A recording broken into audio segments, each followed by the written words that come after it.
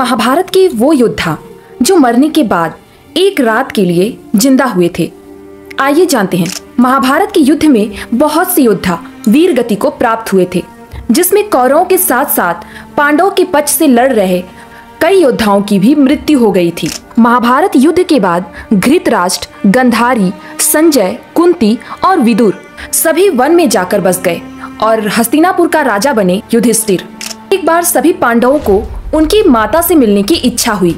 इसलिए सारे पांडव जंगल में पहुँचे, जहाँ उन्हें देखते ही विदुर ने अपने प्राण त्याग दिए और धर्मराज के रूप में युधिष्ठिर में समाहित हो गए।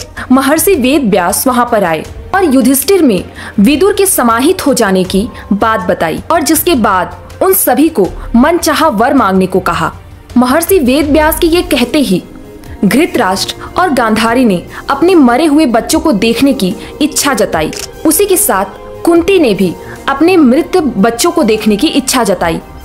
महर्षि वेद व्यास सभी को लेकर गंगा के किनारे पहुँचे और जैसे ही रात हुई, महर्षि वेद व्यास उस गंगा में प्रवेश किए और सभी मृत जनों का नाम लेकर उन्हें पुकारा और फिर थोड़ी ही देर में भीष्म, द्रोणाचार्य, कर्ण, दुर्योधन दुशासन अभिमन्यु घृतराष्ट्र के सभी पुत्र, घटोत्कच, द्रौपदी के पाँचों पुत्र, राजा द्रुपद, शकुनी, शिखंडी आदि वीर योद्धा जल से बाहर निकल आए।